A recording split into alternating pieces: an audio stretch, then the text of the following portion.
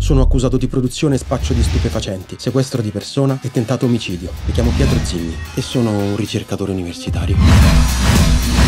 Alzate mani. Oh, oh, oh, che cazzo fai? Portaci al deposito farmaci, forza, ci serve tutto quello che c'hai. Che... Professor Zini. Professor Zini, neurobiologia, ho fatto l'esame quattro mesi fa. Voi siete le migliori menti in circolazione e vivete ai margini della società.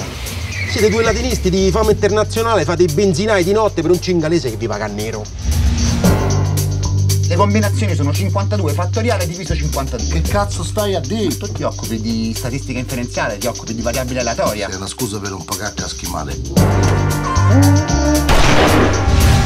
Spegni questo coso per favore! È una lapide commemorativa di Teodosio il Grande, non puoi andarci di un martello pneumatico. La cortellata gli è andata bella precisa qua, si sono scannati per eredità, c'è stata un'aspra diatriba legale per, per la divisione. Ah, no, hai detto un'aspra diatriba legale. E io sono stato chiaro, non assumo laureati. Sì, ma guardi, è un errore di gioventù del quale sono profondamente consapevole. Io qui fra massimo sei mesi divento cameriere, mance, un giorno libero a settimana e 700 euro al mese. Io te li faccio guadagnare in mezz'ora.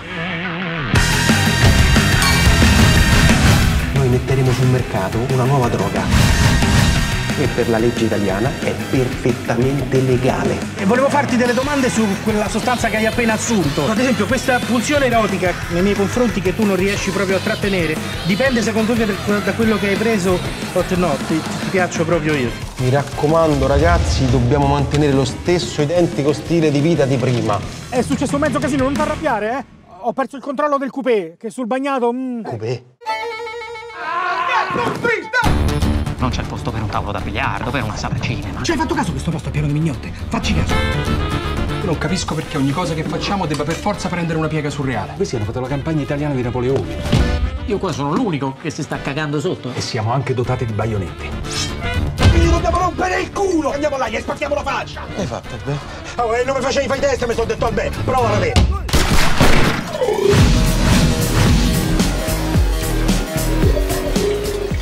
Che c'hai in faccia? Ah no, niente, ma un cazzo. Eh, perché hai un cazzo disegnato sulla faccia? Sembrava una cosa divertente.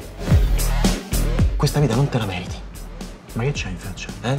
No, è un rimasuglio di un cazzo. Eh, che cazzo. Eh, fanno sti pennarelli indelebili. con-